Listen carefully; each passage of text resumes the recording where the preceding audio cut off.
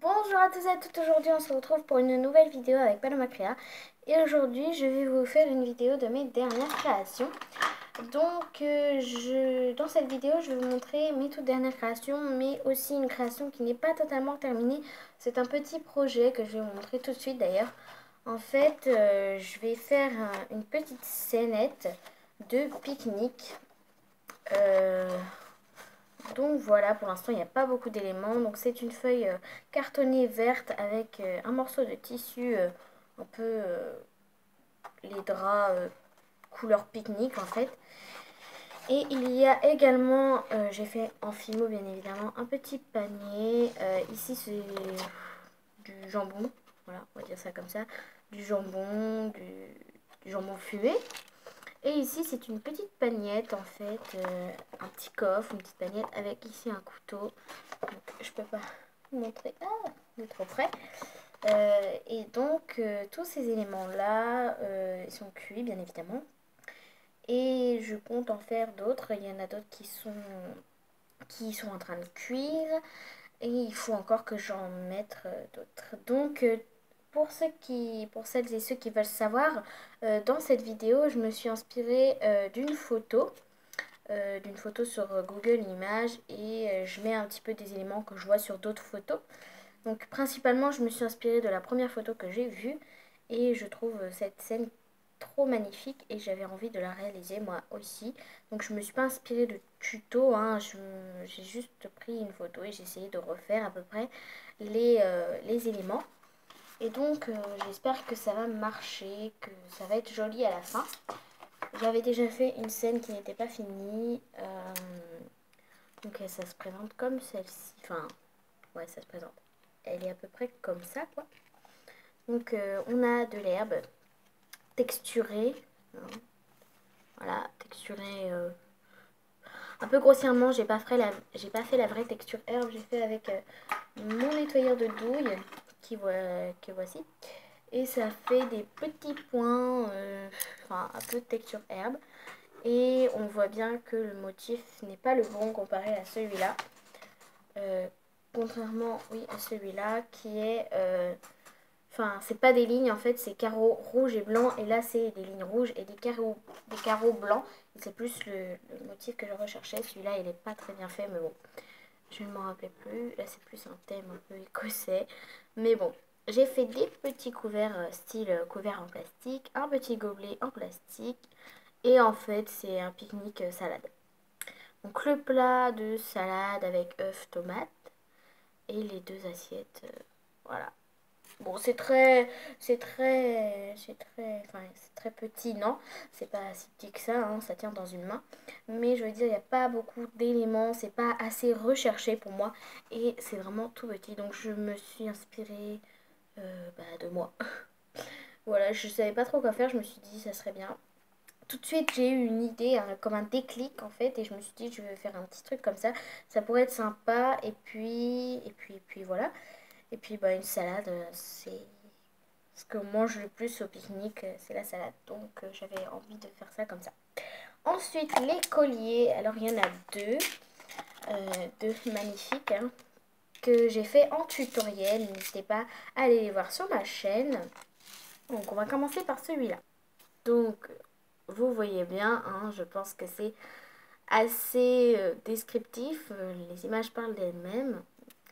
Voilà, c'est un pot de Nutella euh, qui n'est pas du tout sec à l'intérieur, mais ça m'a tellement saoulé que en fait j'ai mis du coulis euh, tulipe euh, chocolat. Mais il, il voulait pas sécher, il voulait pas sécher parce que j'ai pas fait étape par étape, j'ai pas mis une couche. Et puis en fait il faut mettre une couche, une couche, laisser sécher, puis remettre une, et puis encore, et on, répète l'étape plusieurs fois. Sauf que moi j'ai tout mis d'un coup, du coup bah au bout d'un moment j'en ai eu marre et j'ai collé le bouchon. Donc, euh, enfin, allez voir d'autres tutos que moi parce que le mien n'est pas tip top. Mais bon, bon, je trouve que le résultat est plutôt ressemblant. Hein. À part le pot qui n'est pas la vraie forme du pot de Nutella. Hein. Enfin, comparer les deux, ça c'est euh, c'est plus droit que celui-là. Il est plus un peu euh, évasé, un peu plus travaillé, un peu plus carré que celui-là. Ouais, voilà, c'est pas vraiment... Celui-là, il est pas trop carré. Mais bon, je, n'ai pas de fiole de ce genre, donc, donc voilà. Et comme vous pouvez le voir, j'ai changé de type de, de chaîne. Enfin, parce qu'avant, je faisais mes colliers avec du cordon. Donc voilà, je ne sais pas du tout comment s'appelle ce cordon. C'est pas de la feutrine. Non, c'est pas de la feutrine forcément. Et une chaîne bille, voilà. J'ai juste travaillé sur une chaîne bille, sur la chaîne bille et sur le cordon pour l'instant. Et je trouve que, les, que le résultat avec euh, la chaîne à, peu, à. Ouais, c'est des maillons fins, hein, très fins. Bah, je trouve que c'est plutôt bien, hein, les maillons fins, c'est très réaliste. Puis c'est facile à porter. Euh, c'est un tour de cou. Euh, c'est pas ras de cou, mais euh, c'est un, mi, un semi-ras de cou parce qu'il m'arrive bah, à là, là où la taille à peu près où mon collier arrive actuellement. C'est à peu près cette taille-là pour les deux chaînes, puisque il y en a deux des colliers avec des chaînes comme celle-ci. Mais bah, je sais pas. En fait, j'aime bien les grands, grands colliers du style euh, des autres colliers. Bon, je, je après. Les autres colliers que j'ai fait, ils m'arrivent à peu près à là, au niveau de du torse, un peu. Euh, enfin, ils sont très grands, ils m'arrivent à peu près à là. Donc, euh, voilà. donc, pour le deuxième collier, monté pareil sur une chaîne, mais c'est pas le même type de chaîne.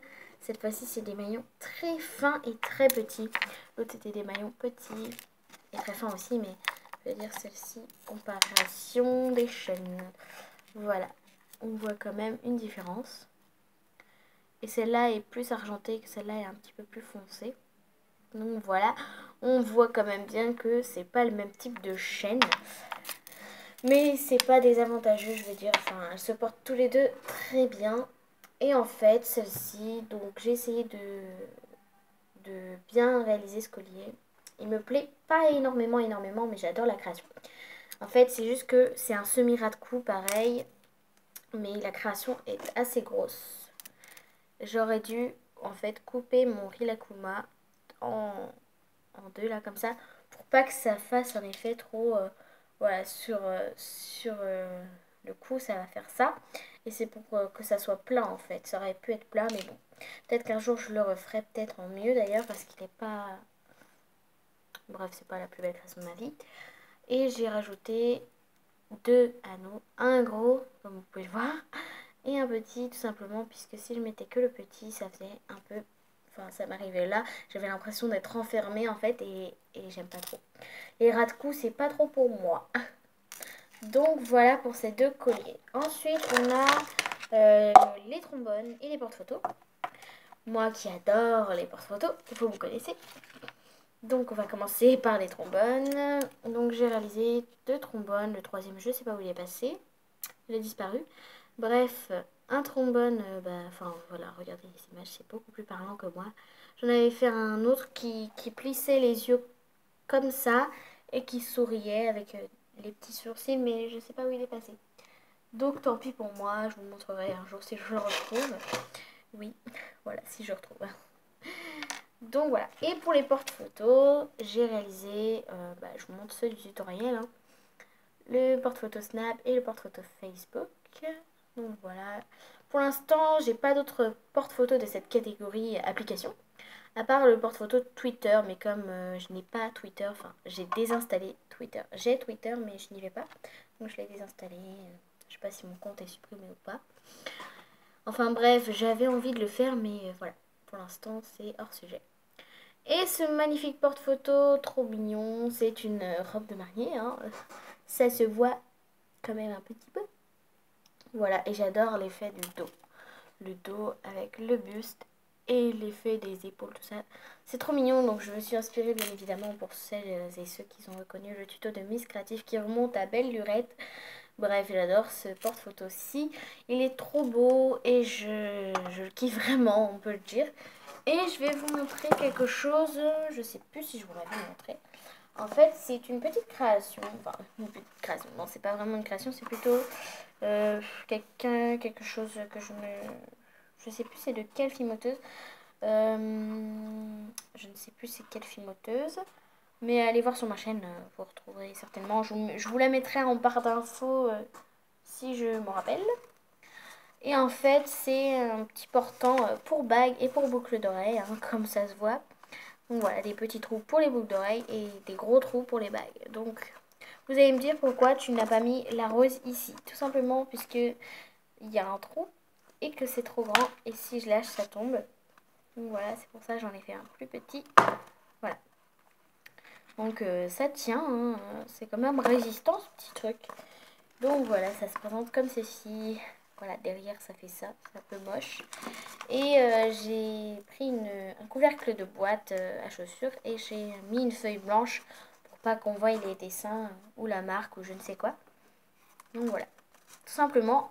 Et j'ai fait un autre présentoir un petit peu pour les bijoux également, mais comme j'ai aucun bijou de ce type, je vais vous montrer quand même le présentoir. Il s'agit d'un présentoir à bracelet, totalement horrible, hein, on s'en fout. Donc euh, voilà, c'est euh, un rouleau de sopalin que j'ai entouré de feuilles blanches, que j'ai rempli parce qu'il était, enfin pour pas que ça soit mou. Et j'ai mis euh, du fil de fer pour faire des pieds tout simplement. Voilà. Et c'est un présentoir à bracelet. Mais comme je n'ai pas de bracelet en fimo réalisé, bah, je, je l'ai fait à l'avance. Beaucoup à l'avance puisque je n'ai pas encore réalisé de bracelet. Et je ne compte pas en réaliser de sitôt. Pour l'instant, c'est pas mon unique but. Donc voilà, cette vidéo est maintenant terminée. Je vous résume tout ce que j'ai montré lors de ce petit euh, tuto. Donc voilà, je vous ai montré tout ça. Bah, il n'y a pas énormément de choses, hein, mais bon, ça fait plaisir de vous montrer quelques créations que j'ai réalisées. La plupart, ce sont des tutos, à part ça, à part ça, là, euh, à part ça, voilà. Ça, c'est dans le tuto, ça aussi, ça aussi. Bref, euh, je vous fais plein de gros bisous et je vous dis à bientôt pour un prochain tuto. Bye